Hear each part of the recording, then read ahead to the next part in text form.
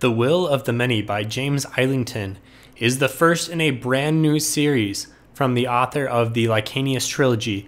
It's a book that I've had on my list for most anticipated of 2023, and it's a book that I was lucky enough to get an advanced copy of thanks to NetGalley. So, did it live up to the hype? Keep on watching to find out. This is Fantology. You may have heard of us.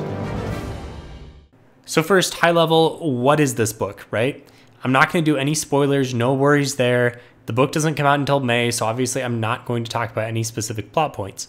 However, from the back of the book type of blurb, we know this is a first person coming of age story prominently featuring a school setting. It's a Romanesque type feel to the setting, and there is some like advanced magic technology type of things going on, but for the most part, it kind of has this like traditional fantasy era setting that we're familiar with. The magic system itself is a twist on some other magic systems we've seen. It's very similar to Brandon Sanderson's magic system in Warbreaker, but it's new and fresh here, and it perfectly fits, it perfectly integrates into all other parts of the story. So, based off of that description, I can tell you, me personally, Stephen, this has a lot of the ingredients for a story that I'm going to like, and I was really excited to get into it. As I got into it more, I think there's a lot of kind of natural comparisons to other books that you could make. The strongest one is Red Rising because of the school type setting, because of the Romanesque with some kind of like futuristic magic technology a little bit. It's not nearly as sci fi as Red Rising. You'll see that a lot. I think that's fair but on the other hand, it is definitely fresh and new, and it's not just like another iteration of Red Rising. There's also a lot of Name of the Wind here, maybe not quite in the same like beautiful prosaic style, but just the coming of age school, you know, kind of plucky character that's very smart. It's got a lot of Kvothe in here. So Name of the Wind, I think, is another fair comparison. And then as you get into it more, you're going to see that there's a lot of comparisons to Islington's other trilogy, the Licanius trilogy, with the way that he balances all of these plot elements and keeps you guessing and throws in some cool twists and some very unique ideas. I think one of the best things that Islington brings to his books are some twists on the traditional fantasy story with some really cool ideas that he executes beautifully. So, overall, with all of those descriptions aside, what did I, Stephen, personally think of the book? Well, I loved it. I, I really absolutely loved it. It's an easy five star for me. It's going to be a nine out of 10, and I'll kind of break down some specific categories, what I thought were stronger and weaker. But really, this book kept me up at night. I was totally addicted to it. It's a page turner. The pacing is fantastic. The characters really kind of suck you in and get you to care about them and, and are very, you get very sympathetic to the plight of the character, especially our main character, Vis, who's who's telling the story. I really don't have much negative to say. Like I think you can nitpick and I that's totally fair, but overall, this is one of my like this is one of my favorite books that I've really ever read. I think I don't want to go overboard here, but it might make my top 10 fantasy books ever. I think it's kind of hard to say because this is a series that is really just getting started and so you can't really rate a first book too much without seeing where the rest of the series goes. I'm pretty sure it's a trilogy, so you know in the next few years we should know uh, how to adequately place this one in our fantasy bookshelves. But I like I really don't have much negative to say, and I'm going to be raving about this for a while. I'm going to be recommending this to everyone. So if you were a fan of Islington's first trilogy, if you're a fan of fantasy books in general, and you've come across this video, definitely mark this one down. I think most people are really, really going to enjoy this. I mentioned earlier that the pacing was something that was really strong in this book, and I'm going to give it a 9 out of 10 for pacing. Almost perfect. I think a lot of people are going to say it starts kind of slow. That's fair. It takes maybe about like the first 30% is, you know, a lot of setup, a lot of kind of laying the groundwork for what's going to come later on. But once you start really getting into the story, 30% is where I think you get into part two. And once that happens, it's just breakneck pace through that part. I think it's necessary to lay the groundwork. Maybe it could have been faster paced in the beginning. Maybe a few people will put it down because it's slow, but it's not that slow. Like, I think you should be accustomed to fantasy books starting like this.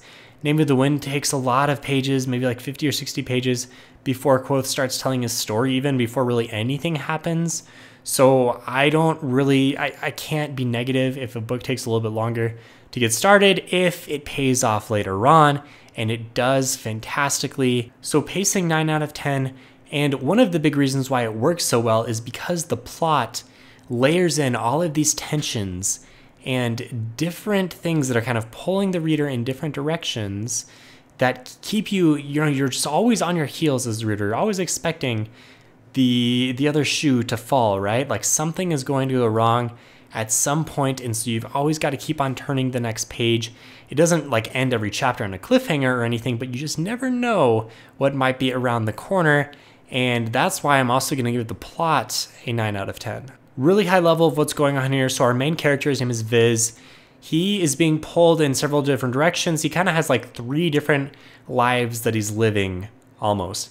And each of these different lives is a different faction of things that are going on in the story. And so Vis has to kind of walk the middle ground between everything. And as a result, the reader never knows exactly who is telling the truth to him, who's lying, who you can trust, who might have an ulterior motive, or another secret, and that just creates such an interesting plot, so compelling to just keep on turning the next page.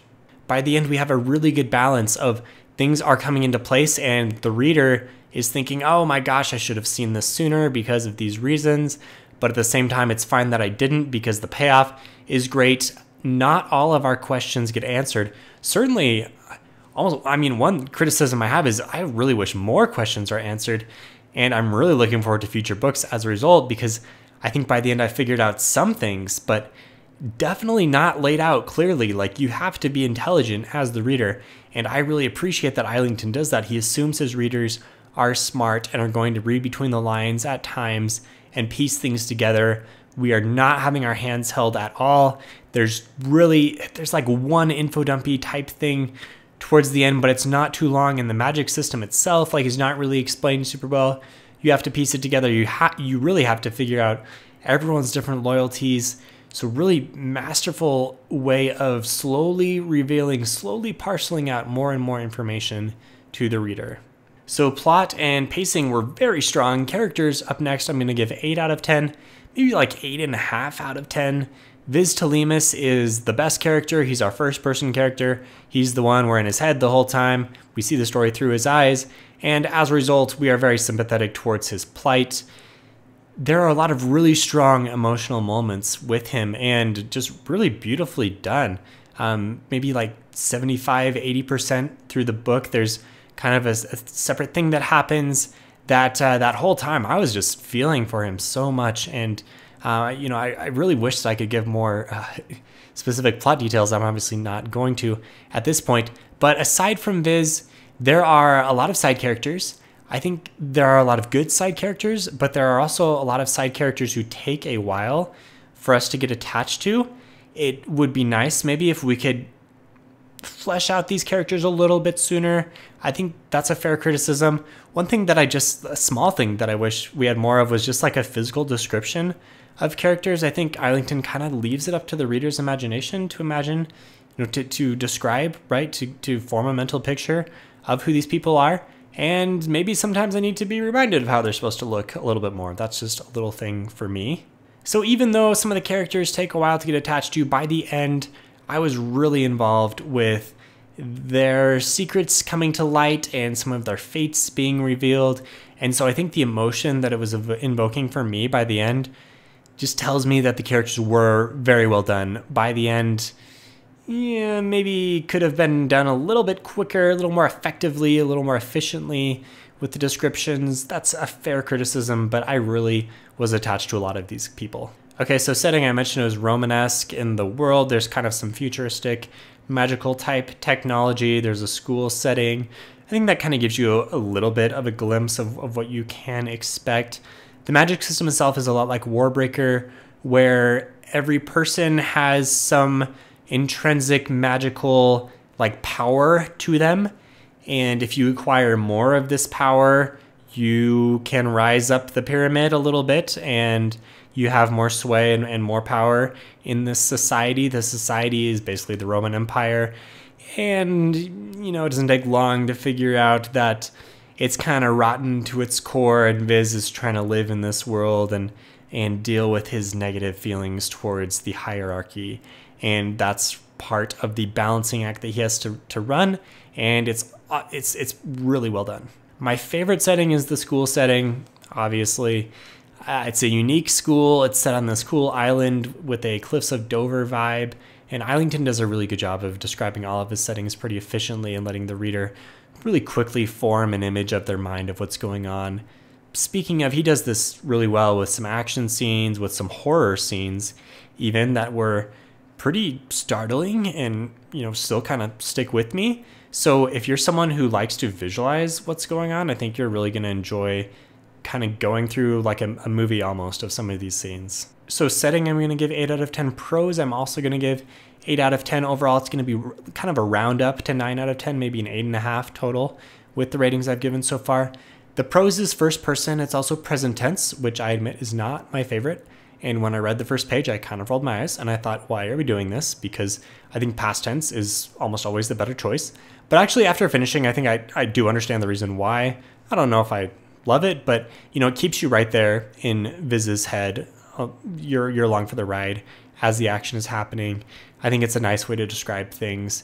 Otherwise, the prose is good. Uh, doesn't really take a whole lot of time to delve into metaphor or simile or try to make his writing overly beautiful. It's really kind of in the Sanderson camp of the stained glass window that you can, or sorry, the clear window that you can look right through and see what's going on without it getting in the way. So solid job with the prose. So my preference, my overall favorite books ever in fantasy are things like Name of the Wind, Patrick Rothfuss, anything Brandon Sanderson has written, anything Abercrombie has written, anything George R. R. Martin has written, you know, all of his Song of Ice and Fire, Jim Butcher, Dresden Files. This is kind of the vein of books that I like. I mean, I, I know I just listed off all the mainstream fantasy books, but you can see from what I've described that this is something that I personally am going to like. If executed properly, the setup of the book that I described is right down my alley. So I understand maybe if your preferences are different than mine, yeah, you know, maybe this is not your favorite, but I think you're going to like it. If you like the same type of books that I like, you're really gonna like this one. Like, I know I just said like a lot, but there's a lot. There's a lot to like. There's a lot to love in the will of the many, and I'm looking forward to the rest of the hierarchy. Honestly, my my main criticism of the whole thing is that it's over, and I need to know what's going to happen next, but I'm gonna have to wait some time uh, before the next book.